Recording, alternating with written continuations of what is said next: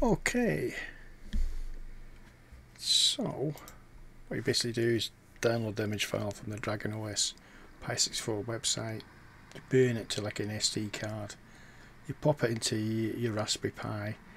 You basically need like a, a 400 or a Pi 4 basically to do this, and because uh, it's just I don't think it works on a Pi 3 or it's just too very slow.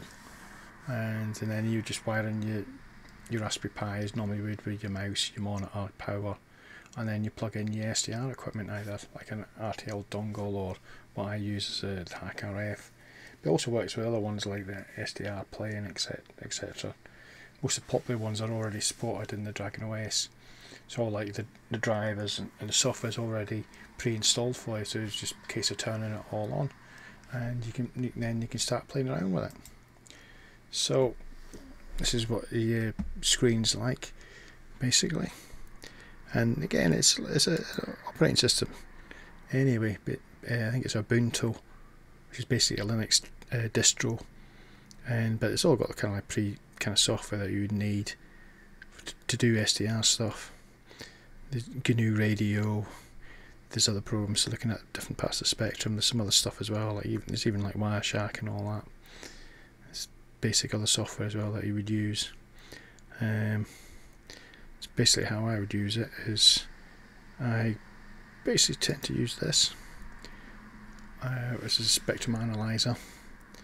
Now I I've set it to like HackRF Sweep because it's, it's, quite good at doing this and you can actually sweep from 1 megahertz up to 6 gigahertz uh, but I'm only doing from 1 to 1200 just for now so if I start that bum bum bum and you can do stuff like max hold and, and if you get rid of smoothing and so I like the smoothing on and I like the max hold on because then I can see little peaks here where there's like signals present.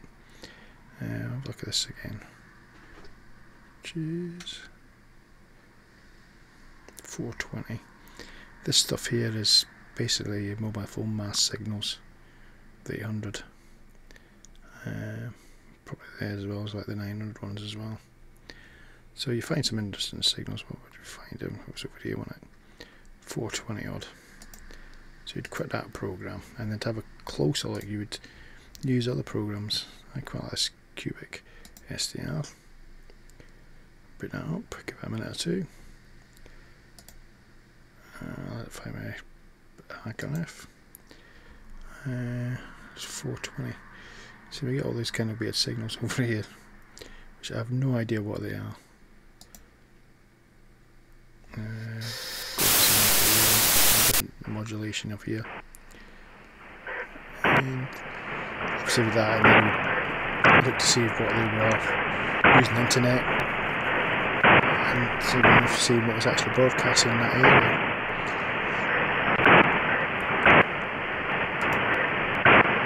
So, I hope you found that kind of interesting, and thank you very much.